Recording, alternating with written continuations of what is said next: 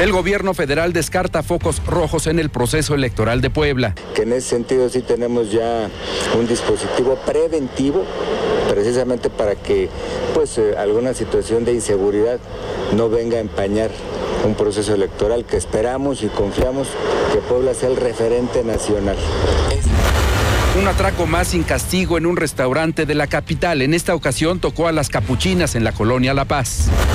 En el cuarto aniversario de la muerte de 49 bebés en una guardería de Sonora, poblanos solidarios con los deudos. Intelectuales de América Latina ponen la atención en Olintla, Puebla, que enfrenta al poderoso Grupo México.